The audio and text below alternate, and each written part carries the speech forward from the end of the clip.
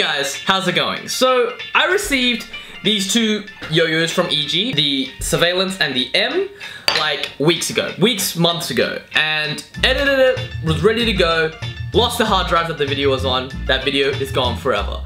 The initial unboxing had like a really nice pair of like snacks, a lot of fun, it was really really awesome to unbox, kind of different, different vibes, but yeah, that video's gone. So, we can't, re we can't redo the whole unboxing thing, but we can do a review. So today's video is going to be a review on the Mowl Surveillance. So, you guys wanna check this thing out? Let's go ahead and do that. So, when I first picked up the Mowl Surveillance, the yo-yo that it really reminded me of was the Yo-Yo Factory Space Cowboy. Um, and to be perfectly honest with you, because this was Daiki Tanaka's signature yo-yo, it kind of draws the comparison. So um, when I was at AP, um, Daiki would very commonly use the Space Cowboy. So I'm guessing that this was one of his um, more favorite models on Yo-Yo Factory and when he eventually jumped ship, he said he wanted something similar. So there you can see that these two yo-yos are kind of reminiscent of one another.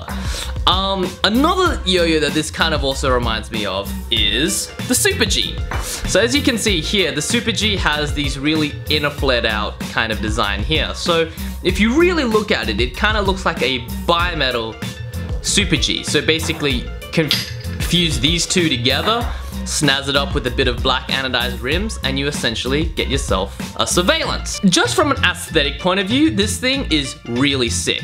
So if you take a look, you know, the laser engravings are really cool there. You can see surveillance in there. It's got a really nice kind of inner design, very, very fancy schmancy artwork.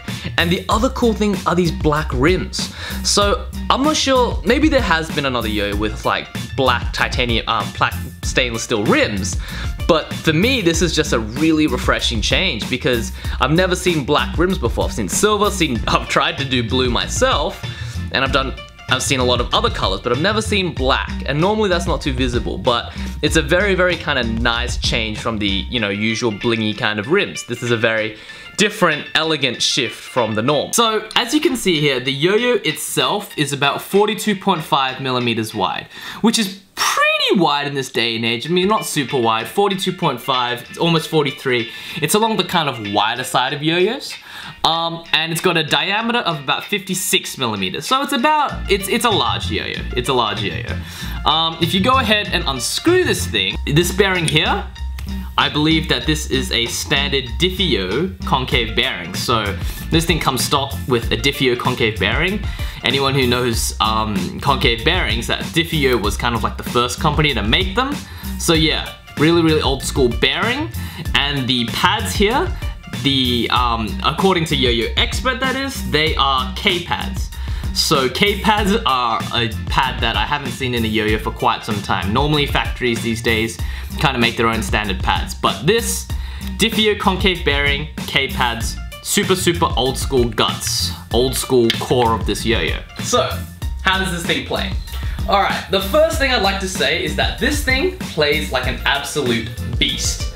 Okay? It's, for me personally, this thing is as close to competitive, like, competitive perfection as you could probably get. Um, so, first of all, the thing, it's not super heavy. It's light enough for you to kind of like throw around so you can do your fast paced tricks, you know, stuff like that.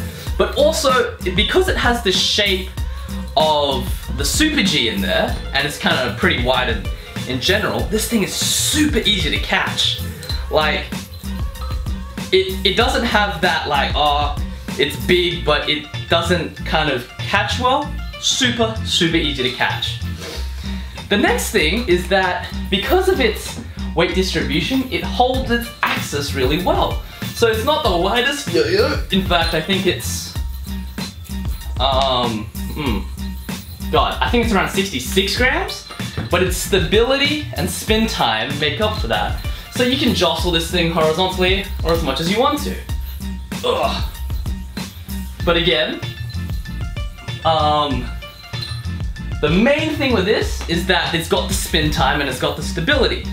So if a yo-yo has spin time, stability, and relatively lightweight, it can do anything. So this thing could just as easily be a tech yo-yo as it could be a competitive yo-yo shown around, thrown around by like Shion or like Iori or something. And you know, it's designed by, you know, Daiki, or de designed for Daiki Tanaka. So that guy, he's got a lot of really, really crazy horizontal tricks, but he's also got some crazy tech tricks.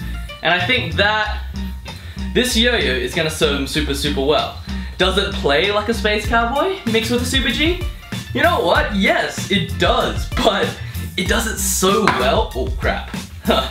it does it so well that you just met whatever, because it's like, this thing, it's good. It basically took all the strengths, none of the weaknesses, melded it into one. So this thing is a very refreshing yo-yo. It's a 100% competitive yo-yo that doesn't really look like a knockoff of a Draupnir in any particular way.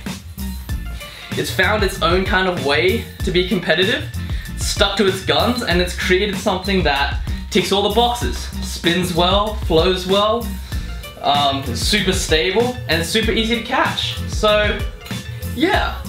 Um, one other thing that I'm not particularly sure about, but the one I got, and you saw how I treat my ears, like I just dinged it just then, it's dead smooth. Like, listen to that.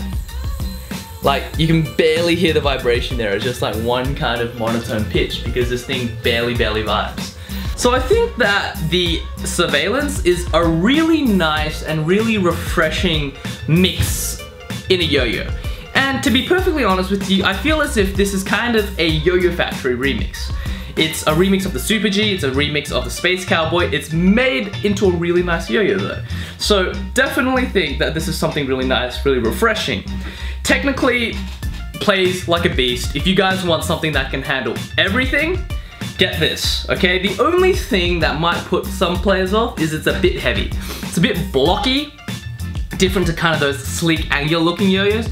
Might put some players off, but that's a personal preference kind of thing. Um, maybe that would be the one thing that would stop me from using it, because I kind of like the sleek, angular, nice fit in your hand kind of yo-yo, but hey, that's, that's kind of the only thing. On the string, plays like a dream.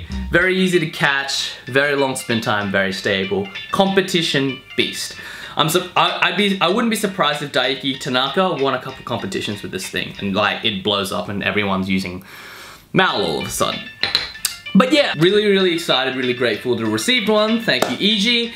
And if you guys are interested, I'm gonna be uploading a video on the M, which is the monometal yo-yo by them soon. So yeah, keep things posted. Any comments, questions, and criticisms, post them down below. And I will see you guys next time.